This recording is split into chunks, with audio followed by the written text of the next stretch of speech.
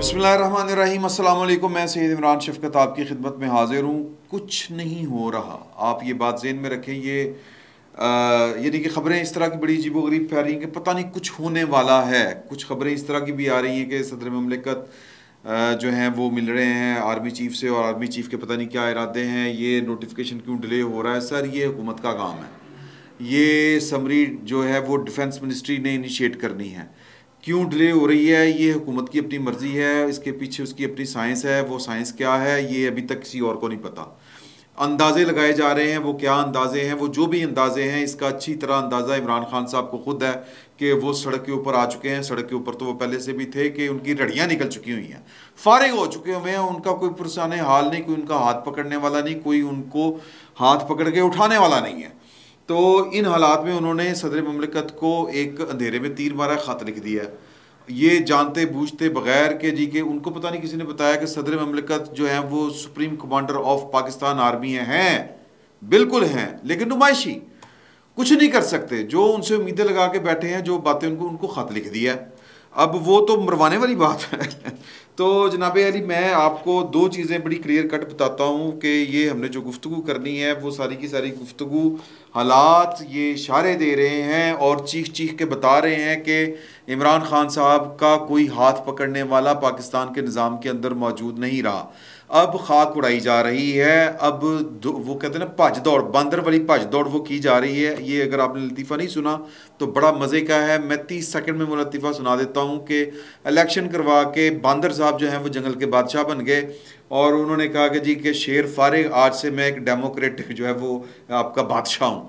तो वो हिरन आई शिकायत लेके कि बादशाह सलामत मेरे बच्चे को शेर ने पकड़ लिया है वो खाने लगा है उसको। बादशाह सलामत ना पटोसी मार के उठे कभी इस तरफ़ कभी उस तरफ़ भाग दौड़ कर रहे हैं। वो जब नीचे उतरे तो वो शोर डाल रहे हैं ऊपर ना ये इस इस, इस दरख्त से उस दरख्त छलांगा छाला बांदर वाली छाला इसको कहते हैं। तो उन्होंने नीचे उतरे, बादशाह सलामत, उन्होंने कहा कि देखी मेरिया छाला। उन्हें कहा, जी, वो बच्चा खा गया। उन्हें कहा, बच्चे तू छड़ शेर खा गया उन्हें खाना ही सी। लेकिन तू मेरी भज दौड़ चेक कर जी मैं भज दौड़ की है मेरिया छाला वेखिया तू। तो इमरान खान साहब इस वक्त जो है, वो भज दौड़ कर रहे हैं, छलांगे मार रहे हैं। इस दरख्त से, उस दरख्त उस दरख्त से उधर पटोसी, ये हो रहा है। तो ख़बरें हैं कि सदर ममलिकत ने मुलाकात की है आर्मी चीफ साहब के पास जाके। हालाँकि मैं हमने पहले भी ये वाली कई बारी कई कई बारी कह रहा हूँ, कई दफ़ा बात की है कि सदर ममलिकत का जो अहदा है, अब ये यहाँ पर एक फ़िलासफ़िकल गुफ्तु भी है कि लोगों को ये बात समझ में नहीं आती कि सदर ममलिकत जो है, वो उसका और वज़ी अजम के दरमियान जो है, वो बैलेंस ऑफ़ पावर वाला मामला नहीं है। बैलेंस ऑफ़ पावर जो है, वो पार्लियामेंट पार्लीमान और वज़ी अजम के दरमियान है। लेकिन हमारे यहाँ बदकिस्मती से हम जूते खाते हैं सिर्फ़ इस चक्कर में कि हम पार्लीमान के आगे वज़ीर अजम साहब जो हैं, कोई भी हों, वो अपने आप को जवाब नहीं समझते। पार्लीमान ने मुल्क चलाना होता है और उसने गाइडलाइंस देनी होती हैं और साथ में कानून साजी करनी होती है और वो जो हदायत देती हैं, वो इंतज़ामिया को दी जाती हैं कि वज़ी अजम साहब, ये पार्लिमान का फैसला आप इस पर अमल करवाएँ। तो वज़ी अजम साहब ने आके फिर रिपोर्ट करना होता है कि जी, क्योंकि हुकूमत जो है वो पार्लिमान की होती है। हुकूमत ताबे होती है पार्लिमान के। पार्लिमान क्या है? ये मेरी और आपकी विल, हमारी जो है ना, वो राय का मजहर है, या हमारे इकतदार का मजहर है। तो फिलासफिकल गुफ्तु हो जाएगी। तो इमरान खान साहब भी, वो उन्हीं पल्लुओं में से एक पल्लू हैं, जो समझते हैं कि सदर जो है और वज़ी अजम इनकी कोई टसल होती है। सदर और इसके दरमियान बैलेंस ऑफ़ पावर होता है। सदर पूछ सकता है, सर, सदर कुछ नहीं कर सकता। सदर का किरदार नुमाइशी है, बस। इसके सिवा और कुछ नहीं है। लेकिन पाकिस्तान में चूँकि यहाँ पर जो पाकिस्तान की सियासत के, जो ताकत के मराकज़ हैं, जो अवाम की हाकमियत को कबूल नहीं करते, वो सदर के ज़रिए ऑपरेट करते रहे हैं। और वो उन्होंने सदर के अहदे को एक वो बनाया हुआ है कि अजीब सा, कि जब यहाँ पर हुकूमत पर कब्ज़ा किया जाता है तो फिर सदर ममलिकत के दफ्तर पर भी कब्ज़ा किया जाता है, या चीफ ऑफ़ आर्मी स्टाफ सदर ममलिकत भी साथ ही बन जाता है। ज़ियाउल्ला को देख लें अयूब खान मतलब या खान परवेज़ मुशरफ सारे। तो इसलिए हमें थोड़ी सी हम ये फ़िक्री मुगालते का शिकार हैं, बल्कि सियासी मुगालते का शिकार हैं। आइन में इस तरह की कोई गुंजाइश नहीं है, जेन में रखें। तो वो सदर साहब, आप सुप्रीम कमांडर हैं। वो छक्कू किस्म का सुप्रीम कमांडर है भाई, जो कुछ कर ही नहीं सकता। एक नुमाइशी होता है कि एमी अब्बा जी को टो टप्पे के लिए रखा होता है, हैं? समझा करें इस बात को। तो टॉ टप्पे के लिए है कि जी, कि जो कुछ हो रहा है, वो सदर के नाम के ऊपर हो रहा है। तो सदर के पास कोई इख्तियार नहीं है, सदर कुछ नहीं कर सकता। उन्होंने आइन के आर्टिकल वज़ी अजम साहब ने, ये सबक वज़ी अजम साहब ने, इमरान खान साहब ने उनको बताया कि आप सदर ममलकत हैं। आप आइन के आर्टिकल 245 243 243 के सब आर्टिकल 2 के तहत जो है, वो आप मुसल्ला फौज के सुप्रीम कमांडर हैं। अपनी फौज को देखें वो क्या कर रही है। ये उन्होंने शिकायत लगा दी है फौज की, सदर ममलिकत को। तो सदर ममलिकत को मैं पहले क्लियर कर दूँ, ये मोटी सी मैंने किताब रखी दस्तूर पाकिस्तान। सर जी आइन का आर्टिकल 243 कहता है, उसका पहला आर्टिकल कि वफाकी हुकूमत के पास मुसल्ला अफवाज की कमान और कंट्रोल होगा।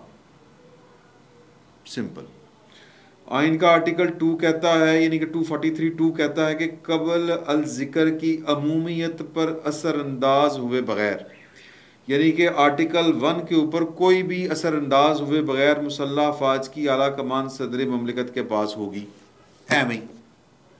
शोशा के लिए नहीं रखा होता सदर तो वो वाला मामला है। तो अब इन्होंने दो बातें इकट्ठी हो रही हैं और दो बातों को आप मिला के जब डॉट के साथ डॉट मिलाएँगे तो आपको समझ लगे कि इमरान खान साहब जो हैं, वो टगे टोकरी हो चुके हैं। अब इमरान खान साहब जो हैं, वो एक प्रेशर डेवलप करना चाह रहे हैं, साथ में कौम को सड़कों पर ला के वो वज़ी अजम को रोकना चाह रहे हैं अगला आर्मी चीफ अपॉइंट करने से। लेकिन इस तरह नहीं हो सकता। अगर हो सकता होता, ये जो इनको कल पसूड़ी पड़ी है कि जी के फ़ौरन लॉन्ग मार्च की कॉल दे दें, क्योंकि अगलों ने बात नहीं मानी। एक दिन पहले गए हैं जनाब सदर ममलिकत साहब रिपोर्टरली वजी साहब, चीफ ऑफ़ आर्मी स्टाफ के पास। पहली बात कि सदर ममलिकत को चीफ ऑफ़ आर्मी स्टाफ के घर में जाते हुए शर्म आनी चाहिए।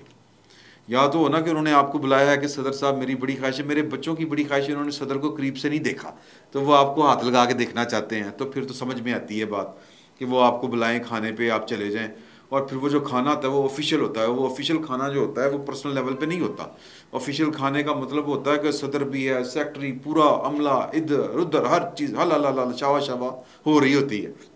तो ये कल्ले उठते हैं और जनाब सीधा जाके बच जाते हैं, बल देंगे कर लो जी, मैं आ गया, ड्राइंग रूम का बुआ खोलो।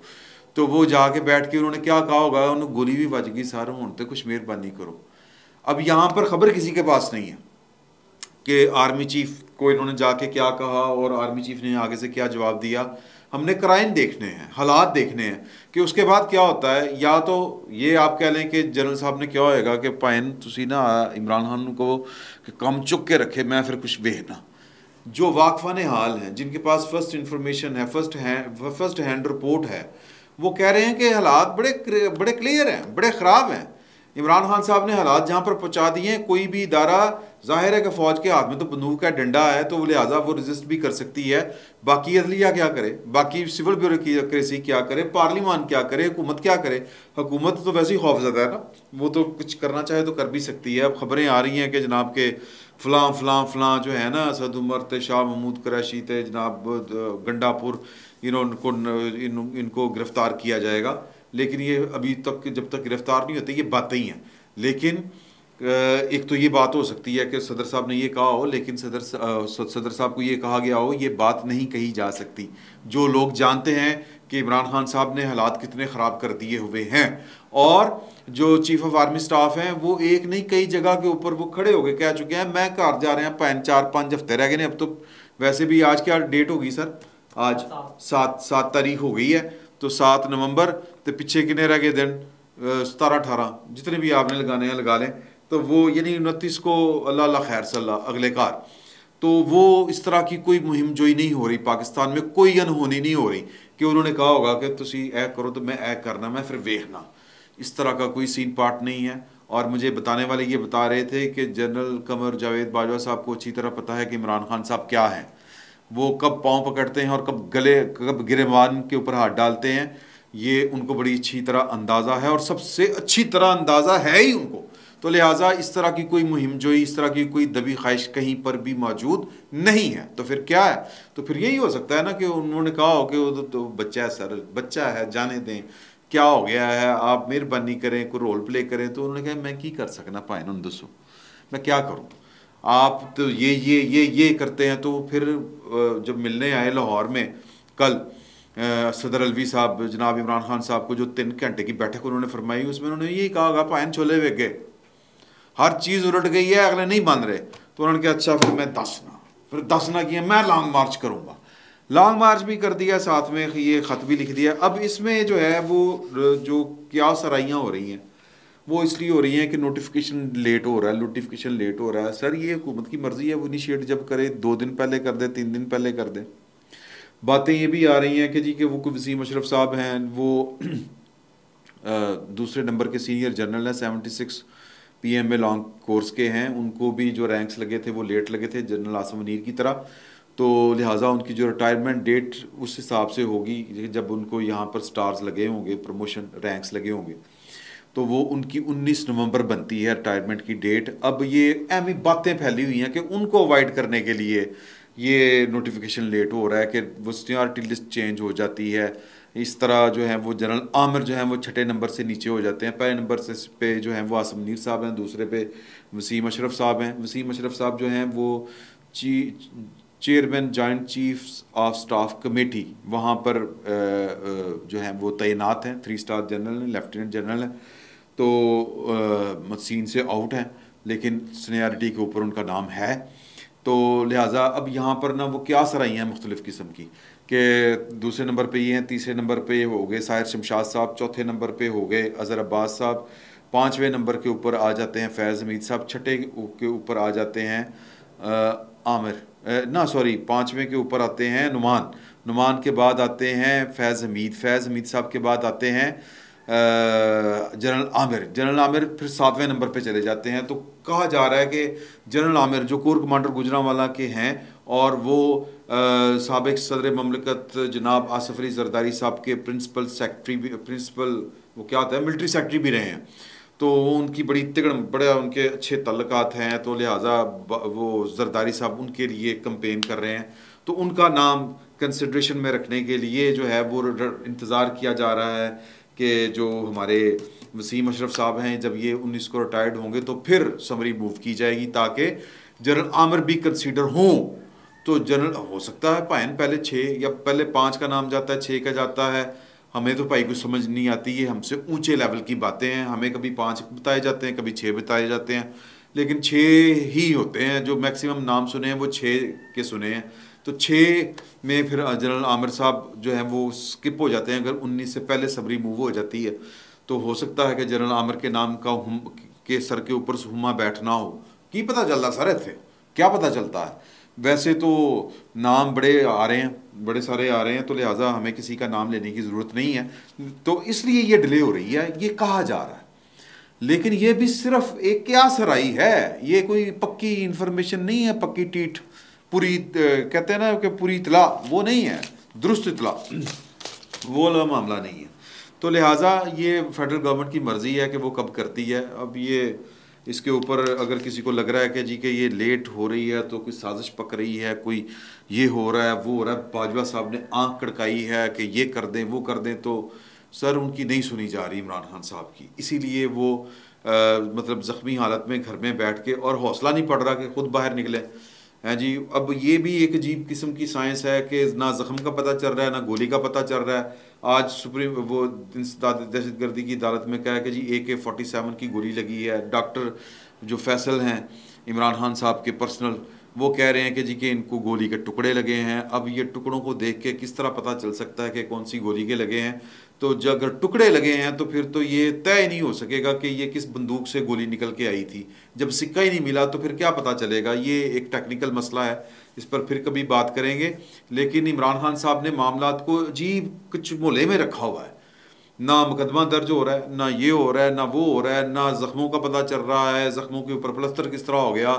टांग टूटी नहीं, लेकिन प्लस्तर चढ़ा हुआ है। अजीबो गरीब चीज़ें हैं। ज़ख्म के बगैर प्लस्तर प्लस्तर के बगैर ज़ख्म। मेरी समझ में तो नहीं आता। ये बड़ा कोई अजीबो गरीब मामला है। लेकिन हौसला नहीं पड़ रहा। नतीजा ये निकल रहा है सारी सूरत हाल का। ज़ख्म है या हड्डी टूटी या कहीं टूटी। खान साहब ट्रक के ऊपर बैठ के लॉन्ग मार्च अभी नहीं कर रहे। वो पंद्रह सोलह के करीब पहुँचेंगे पिंडी में। और पता नहीं इसके पीछे भी वो क्या साइंस है। ये फ़कीर पहले दिन से कह रहा है कि इमरान खान साहब की एक ही ख्वाहिश है कि मुल्क के अंदर खून खराबा हो, जिन्होंने उनको इकतदार से निकाला, उन उन सियासतदानों को, जिन्होंने उन सियासतदानों का, को रोका नहीं, उन फौजी अफसरों को आवाम जो है वो सड़कों के ऊपर बिछा दें, लटका दें और चौराहों में उनको फांसियाँ दे दें। ले, और खून बहता है, लोगों का बह जाए पाँच सात हज़ार बंदा मरता है, मर जाए, लेकिन मुझे कुछ ना हो। मैं महफूज रहूँ मैं, मेरे अंदर जो है वो जो है ना इसराइल उसकी पहुँच से मैं दूर रहूँ ये उनकी ख्वाहिश है और इस ख्वाहिश की तकमील के लिए वो किसी भी हद तक जा सकते हैं और उसी चक्कर में उन्होंने ये वाला ख़त लिख दिया है, पाकिस्तान की फ़ौज की शिकायत लगा दी है। बड़ा तफसीली ख़त है। उसमें सीधी सीधी उन्होंने बात की है कि आप 243 के तहत जो हैं, टू के तहत 243 टू, नीचे टू जो है आप सुप्रीम कमांडर हैं, अपनी फौज को पूछो, ये क्या कर रही है? दो ब्यूरोक्रेट, यानी कि डी जी आई एस और आर किस हैसियत में इन्होंने प्रेस कॉन्फ्रेंस कर दी? और मेरी जो फ़ोन टेप लाइन जो थी, वो बड़ी सेफ़ थी, वो उसकी रिकॉर्डिंग जो मैंने आर्मी चीफ और डी के साथ गुफ्तु की थी, वो भी रिकॉर्डिंग लीक हो गई। किस तरह हो गई, सर, वो अभी लीक होनी है। ये मैं आपको बता दूँ, ये हैकर ने खबर ब्रेक की थी कि वो रिकॉर्डिंग है, वो लीक हो सकती है, वो किसी भी वक्त लीक हो सकती है। तो मेरा ख्याल है कि खान साहब को कि कल साढ़े जो किसी एक ने नहीं होना, इनको खौफ है कि वो वाली वीडियो कहीं पर आ गई ऑडियो आ गई तो मैं ज़्यादा जलील हो जाऊँगा। तो बाकी ये जो है, उन्होंने कहा कि D G S P R और डी जी आई सी ने जो प्रेस कॉन्फ्रेंस कर दी किस हैसीत में कर दी? एक सियासी प्रेस कॉन्फ्रेंस कर दी। आप आर्मी आप सुप्रीम कमांडर है, आपको नहीं पता आपकी फ़ौज क्या कर रही है। तो सर, ये डेस्परेशन का एक नेक्स्ट लेवल है कि ये पाकिस्तान की फ़ौज, और फिर मैं इसकी डिटेल में फिर कभी बात कर लेंगे कि ये क्या कह रहे हैं कि साइफर के ऊपर तो दो गवर्नमेंट्स ने कहा था कि ये मदाखलत है, लेकिन आर्मी ये डी जी एस आई और आई एस पी आर ने कह दिया कि जी कि ये मदाखलत नहीं है। तो ये है, वो है। अब वो पूरी प्रेस कॉन्फ्रेंस आपने सुनी हो तो वो कहा गया था कि आर्मी चीफ ने जाके साइफर कामरा एयरबेस के ऊपर इमरान खान साहब के हवाले किया था, लेकिन इमरान खान साहब ने कहा था, देखो, कोई गल नहीं, कोई बड़ी गल नहीं। अब ये मुझे पता है कि किसने इमरान खान साहब को कहा था कि यह बड़ी गल है। फिर खान साहब को समझ आई थी कि हाँ जी, ये बड़ी गल है, अब इसके ऊपर खेलना है। वो पट्टी किसने पढ़ाई थी, ये मुझे पता लेकिन मैं, ज़ाहिर है कि नहीं बताना चाहता। मैं चाहता हूँ कि वो मेरा जो जानने वाला दोस्त है, वो महफूज रहे, जिसने इमरान खान साहब को इस लैंड के ऊपर लगाया था। तो खान साहब को फिर बाद में अकल दिलवाई गई तो उनको होश आया, वरना तो भाइन जो है वो पता नहीं टली हुए रहते हैं हर टाइम तो वो तो खैर एक से बात है तो आई एस पी आर ने ये वाली सारी कहानी सुनाई है कि फिर उनको हमने बताया डी जी एस आई ने अपनी पूरी तहकीक करके कि सर ये कोई साजिश नहीं है। और हमने ये चाहते थे कि जो आई एस आई है, इसकी रिकमेंडेशन जो हैं, वो साइफर के हवाले से वो पब्लिक हों, लेकिन गवर्नमेंट ने नहीं की। हमने तो यही कहा था, ये कोई साजिश नहीं है। तो अब इमरान खान साहब जो ये दो बातें लेके, क्योंकि, और फिर वो कहते हैं कि जी के इंक्वायरी करवाएँ कि आपका जो डीजीसी है डीजीसी की असल तकलीफ़ है, क्योंकि पॉइंट डीजीसी की पैदावार है इमरान खान साहब। इमरान खान साहब को पता है कि डीजीसी जब अपनी आई के ऊपर आता है तो फिर वो क्या कुछ कर गुजरता है। जब डीजीसी अपनी आई के ऊपर आता है तो सुप्रीम सुप्रीम कोर्ट के जजों के ख़िलाफ़ जो है रेफरेंस चले जाते हैं। जब डीजीसी अपनी आई के ऊपर आता है तो एक वज़ी अजम के ख़िलाफ़ जो है वो पनामा से अकामा निकल आता है और जब एक डीजीसी अपनी आई के ऊपर आता है तो फिर इस्लामाबाद हाई कोर्ट का जज जो है वो सैक हो जाता है सुप्रीम जुडिशल काउंसिल उसको फारग कर देती है और फिर जब डीजीसी अपनी आई के ऊपर आता है तो फिर जेलों के अंदर जो है वो बड़े बुरे सलूक होते हैं कि वाशरूम्स में कैमरे लगाए जाते हैं। जब डीजीसी अपनी आई के ऊपर आता है तो कल का वज़ी अजम अगले दिन जो है वो मुलज़म होता है और जेल में होता है। तो इस तरह ये, और फिर जब डीजीसी अपनी आई के ऊपर आता है तो एक बाईस साल से टगे टोकरी गलियों में वो क्या कहते हैं कि गलियों की खान छाकता हुआ, छानता हुआ एक शख्स जो है वो अचानक पाकिस्तान का मकबूल तरीन लीडर भी बन जाता है, एक बहुत बड़ी पार्टी भी बन जाती है बड़े बड़े जलसे भी होने शुरू हो जाते हैं। ये सारी बातों का इमरान खान साहब से ज़्यादा किसी और को अच्छी तरह नहीं पता।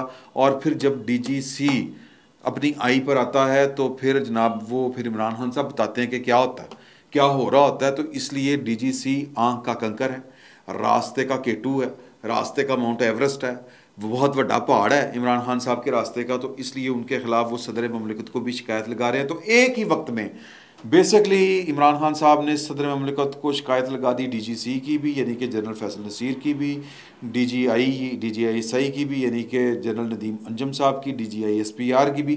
कहा कि इनको, इनकी हदूदों क्यों तय करें आई एस पी आर की? आप सुप्रीम कमांडर हैं। सर सुप्रीम कमांडर कुछ भी नहीं कर सकते। सुप्रीम कमांडर नाम का है। असल कमांड जो है, वो वफाकी हुकूमत के पास होती है। तो लिहाजा इन सारी बातों के दो मतलब निकलते हैं। पहला मतलब है खान साहब फारग, टल्ली, फारग, टन टन टन टन। खड़क गया कनस्तर ते कहानी गई मुक्त किला गया ठोक। ये बात आप जितनी जल्दी समझ जाएँगे, उतना अच्छा है। और दूसरी बात ये कि जनरल कमर जावेद बाजवा साहब का कोई हाथ नहीं है इसमें कि वो जो नोटिफिकेशन लेट है, ये हुकूमत की मर्ज़ी है वन साइड फैसला है। और हो सकता है कि जनरल बाजा साहब की का भी जो मशवरा है, अब उसमें उतनी तासीर ना हो, उतनी गर्मी ना हो। कहते पहले तो कहते ना, बाबा की गर्म, बाबे दी गोलियाँ भी गर्म तो बाबे की। हो सकता है कि गोलियाँ अब इतनी गर्म ना हो। तो लिहाजा जो है कि कुछ नहीं होना, सर। कोई अनहोनी नहीं होने जा रही पाकिस्तान में। चीज़ें स्मूथ चल रही हैं। अपने वक्त पर सारे फैसले होंगे। अल्लाह अल्लाह, खैर सल्लाह और फिर सब हँसी खुशी रहने लग जाएँगे। और ये जो उनतीस नवंबर आ रहा है, इस तक ये जो कड़ी को उबाल आ रहे हैं, ये आते रहेंगे और उनतीस नवंबर को ये उबाल आना ख़त्म हो जाएँगे। फ़र्क हो जाएगी हर चीज़, सुकून मोल तो मिठे चौल। फिल वक्त इतना ही बहुत बहुत शुक्रिया।